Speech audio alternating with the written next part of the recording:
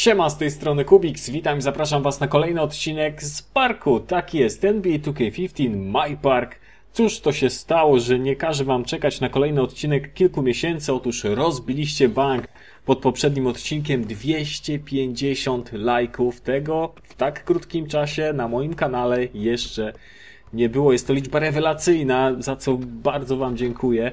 No i cóż, jeśli tak Wam się park podoba, to proszę bardzo, mamy kolejny odcinek. Widzicie, z jakim składem mam do czynienia. Oczywiście chodzi mi przede wszystkim o mój skład, bo to jest numero uno, jeśli chodzi o park. Trzeba mieć z kim grać. Gość w czerwonym stroju Chicago Bulls miał średnią prawie 7,5 punktu na mecz. No świadczy to nie mniej, nie więcej o tym, że on nie będzie w tym meczu podawał, ale jak się okazało po pierwszych akcjach, podał, podał nie raz, podał nie dwa. Okej, okay, myślę, że z tym gościem będzie się fajnie grało, a i owszem, punkty zdobywał, ale nie grał hamsko, nie grał w ogóle jakoś tak przesadnie źle. Rewelacja, dla mnie rewelacja. Gorzej wypadł ten mój drugi kompan, z koszulką Tima Duncana. Wydawałoby się, że taki gość powinien wiedzieć, co to znaczy podawać piłkę, co to znaczy ball movement, jakiś spacing, coś tego typu rzeczy. Nie, on miał przede wszystkim w głowie danki, to najlepiej, żeby sam sobie dankował. Tak to wyglądało, no ale sami przyznacie, dankować potrafi. Świetny alejub, początek meczu 5 do 5, oczywiście w MyPark gramy do 15.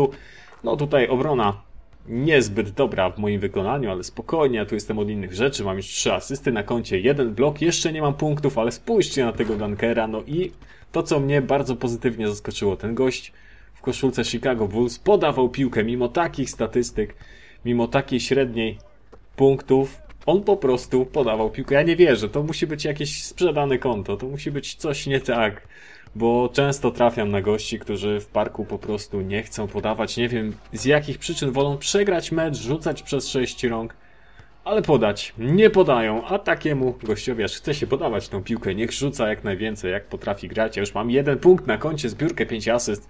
Dobry mecz ogólnie, 9 do 9. Trzeba się postarać, tutaj dość dobra obrona i możemy wyjść na prowadzenie. Jedziemy z kontrą, czy dostanę podanie? Owszem, dostałem, ale jup. Wow! Tego nie widzieliście ostatnio, w tym meczu trochę tego będzie. 10 do 11 już się zapowiada takie bardzo wyrównane spotkanie, taka bardzo interesująca końcówka. Dobry ball movement, ta piłka ładnie chodzi, ale niestety cegła. Co z tego? Mamy zbiórkę. Co dalej z tej akcji wyniknie? No i ten wydawałoby się najbardziej chamski zawodnik naszej drużyny znalazł mnie pod koszem. Taki jumper spod samego kosza siedzi to wszystko już. Nie mam obaw przed rzucaniem tego typu rzutów po 11. Tutaj będzie niesamowicie wyrównana końcówka. No i władowali nam trójka. To oznacza ni mniej, ni więcej, że jedna akcja dzieli nas od przegrania tego meczu, bo tu jeszcze jedna dwójka. Właściwie powiedziałem trójka, ale to przecież są rzuty za dwa punkty i będziemy mieli mecz przegrany. Po części straty odrobione, ale to jest bardzo niebezpieczne, tym bardziej że niezbyt udało mi się to obronić. 12 do 14. No ten mecz wisi na włosku. Ten mecz prawdopodobnie przegramy. Tutaj potrzebujemy akcji za dwa punkty. Indywidualna 13 do 14. No i to nie będzie zbyt interesujące. To może się skończyć właśnie w tej akcji. Jestem bezlitośnie ograny, ale gość nie trafia Danka i jest nadzieja. Jest nadzieja, byśmy w tym meczu jeszcze coś zagrali. 13 do 14. My Park w takim wydaniu, z takimi gościami do gry jest niesamowity. Do grania wiem, że jeszcze nie jestem wirtuozem, chociaż coś tam dankuję. Nie ma tych alejupów tak dużo, ale uczę się, uczę się. W parku nie gram zbyt dużo. Przydałaby mi się jakaś, kto wie, może ekipa do grania, żeby coś tu ciekawego zagrać, ale tymczasem 15 do 15 jest szansa na objęcie prowadzenia. No teraz ja się schamiłem trochę, zbyt się pospieszyłem z tym rzutem, ale byłem przekonany, że to wejdzie, sami rozumiecie. No jest nieźle, jest nieźle. Ten mecz jeszcze może trochę potrwać, 15-15, teraz potrzebna jest przewaga dwóch punktów, by ten mecz wygrać i jest właśnie taki rzut na szczęście. Pudło, chociaż nie ma zbiórki. Nie jest dobrze, midrange jumper, ale cegła. Ale cegła, ten gość nie powinien tego rzucać i mamy odpowiedź z naszej strony, chociaż był tam blok, ale to wpadło. Monster Jam, chociaż czy ja wiem, czy to był taki Monster Jam z tym blokiem, taki trochę szczęśliwy rzut. Tymczasem, jeśli obronimy tą sytuację, to mamy szansę na zwycięstwo i jest zbiórka, jedziemy z kontrą. Wystarczy tylko podać, wystarczy tylko mi podać. No kolega nie podał. Tak. Mogło być po meczu, a tymczasem 16-16, jak to w takich sytuacjach zwykle bywa. co tym razem przydałaby się jakaś dwójka, żeby to skończyć, żeby już sobie dać z tym wszystkim spokój. No i włączył się taki mały egoista temu gościowi, ale najważniejsze, że trafił.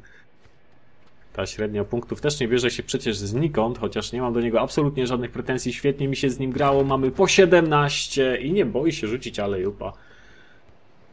W takim momencie no nic, tylko klaskać 18-17, czy będzie po 18? Znowu sceglił ten gość. No jak nie masz midrange jumpera, to nie rzucaj. Ale to lepiej dla nas, bo mamy szansę na zwycięstwo i fatalna strata. I w odpowiedzi posterized. Tak wyglądają czasem mecze w MyPack. No emocje, wszystko na ostrzu noża, chociaż teraz fatalna obrona. Co oni grają? Będzie trójka, nie ma podania, jest koniec. 20 do 18. Ja w tym meczu wystąpiłem jako taki support, ale tak jak wspominałem, ja tak lubię grać. Lubię podawać, lubię być pierwszy w obronie, zbierać. To mi dało zwycięstwo. 4 punkty, 2 zbiórki, 7 asyst. Aha, aha, 7 asyst, o to chodzi. I to tyle w tym odcinku. Mam nadzieję, że podobał Wam się co najmniej tak jak poprzedni, bo jeśli tak, to następny.